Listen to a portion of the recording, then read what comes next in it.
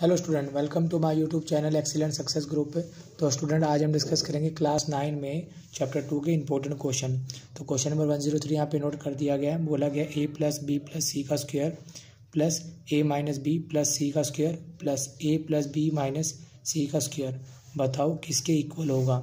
ठीक है? तो इसमें हमें तीनों के फॉर्मूले ओपन करने पड़ेंगे। तो पहले मैं फॉर्मूला कौन सा ओपन होगा वो फॉर्मूला लिख देता हूँ।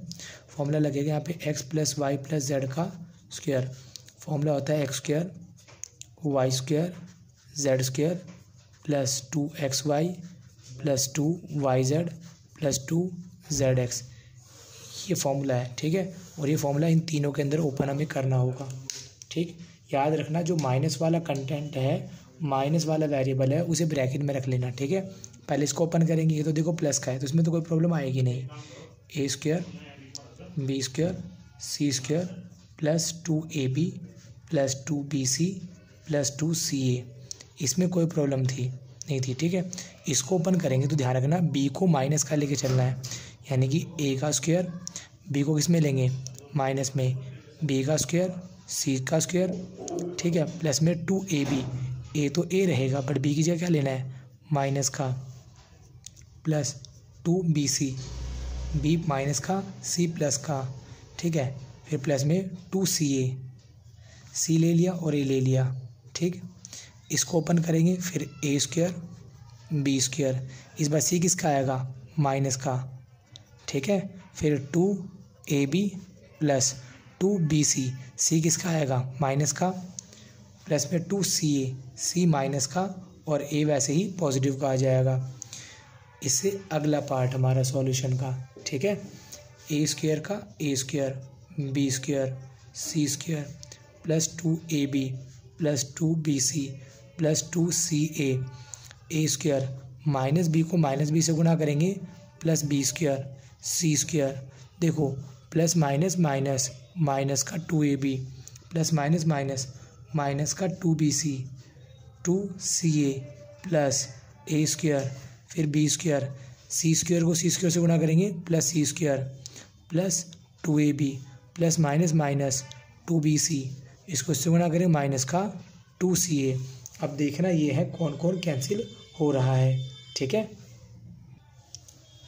देखो ज़रा, माइनस का टू ए बी, प्लस का टू ए बी, माइनस का टू बी सी, प्लस का टू बी सी, ठीक है? एंड प्लस का टू सी ए, माइनस का टू सी ए, ठीक है? देखो one A square one A square कितना हुआ? Two A square one B square one B square two B square one C square one C square कितना हुआ? टू सी स्क्र ठीक है? Sorry A square A square and A square three होंगे यहाँ पे। गलती से नीचे वाला छूट गया। B square B square and B square three B square इसी तरह C square C square and C square three C square ठीक है? एंड यहाँ पर कौन बचा था? प्लस हम्म, का टू सी ए प्लस का टू ए बी माइनस का टू बी सी इन तीनों में से देखो थ्री कॉमन आ रहा है। तो A square B square C square इन तीनों में से टू कॉमन आ रहा है। Two C A two A B two B C ठीक है? और स्टूडेंट इसी के साथ मेरा question number one zero three यहाँ पे कंप्लीट होता है। हम डिस्कस करेंगे question number one zero four तो पहले question number one zero four को मैं यहाँ पे नोट कर देता हूँ, ठीक है? तो question number one zero four मैंने यहाँ पे नोट कर दिया गया, बोला गया फैक्टराइज ए की पावर ट्वेल्व वाई की पावर फोर ए की पावर फोर वाई की पावर ट्वेल्व इसलिए फैक्टर करो, ठीक है? देखो, दोनों में से जो चीज़ कॉमन निकाल सकती है, उसे कॉमन निकालेंगे। यहाँ पर ए की पावर ट्वेल्व है या वाई की पावर ट्वेल्व है? सॉरी ए की पावर ट्वेल्व है यहाँ पे ए की पावर फोर है? तो दोनों में से ए की पावर फोर आराम से कॉमन निकाली जा सकती है। बारह में से चार कॉमन निकाली तो यहाँ कितनी बच गई? आठ माइनस चार थी, पूरी की पूरी बाहर आ गई इसकी जगह कुछ नहीं बचा। ठीक है? एंड वाई के पास कितने? चार। वाई के पास ट्वेल्व तो मैं वाई की पावर फोर कॉमन ले सकता हूँ। तो यहाँ तो कुछ नहीं बचा बट यहाँ पर बारह थे। बारह में से चार बाहर आ गए। अंदर कितने बचे? आठ बचे। कितने बचे? आठ। तो बाहर जो लिखा हुआ है, देखो मैं ए और वाई दोनों की पावर फोर है, इसे बाहर मैंने इकट्ठा करके लिख दिया। इस आठ को मैंने लिख दिया चार की पावर दो, और इस आठ को मैंने लिख दिया वाई के ऊपर चार की पावर दो। ठीक है? यानी फोर टू ज़ा फोर टू ज़ा एट हो गया? अब इसके लिए फॉर्मूला यूज़ होगा A square minus B square जिसे हम एक बार पॉजिटिव में और एक बार नेगेटिव में ओपन कर देंगे। ठीक है? दोनों पे चार है, इनको तो इकट्ठा करके बाहर लगा देंगे। ए वाई की पावर फोर अब इन्हें क्या करेंगे? एक बार पॉजिटिव में ए की पावर फोर प्लस वाई की पावर फोर पॉजिटिव में ओपन कर दिया, एक बार नेगेटिव में ए की पावर फोर माइनस में वाई की पावर फोर कर दिया। फिर दोबारा से ये सॉल्यूशन हो रहा है इसका। फिर फैक्टर हो रहे हैं। इसके फैक्टर नहीं हो सकते, ये एज इट इज़ आ जाएगा। इसके फैक्टर हो रहे हैं। इस फोर को हम क्या लिखेंगे? ए स्क्वेयर का स्क्वेयर एंड वाई की पावर फोर को क्या लिख देंगे?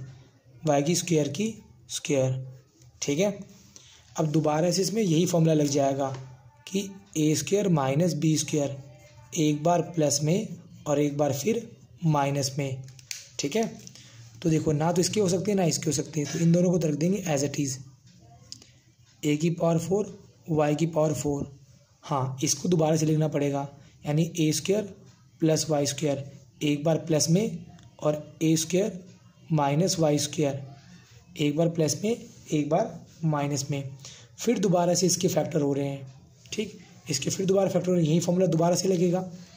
तो ये तो एज इज़ आ जाएगा। ए वाई की पावर फोर ए की पावर फोर वाई की power four A square plus Y square as is आ जाएगा। इसके दोबारा ओपन होंगे, क्योंकि A square minus Y square आ रहा है। तो एक बार प्लस में और एक बार माइनस में, ठीक है? और इसी के साथ मेरा यहाँ पर ये क्वेश्चन कंप्लीट होता है। उम्मीद करता हूँ स्टूडेंट आपको क्वेश्चन समझ में आ गया होगा। अगर आपको वीडियो अच्छी लगी हो तो वीडियो को लाइक करें शेयर करें कमेंट करें और इस चैनल को ज़रूर सब्सक्राइब कर लें। ठीक है? मिलते हैं अगले वीडियो में। Okay bye bye thank you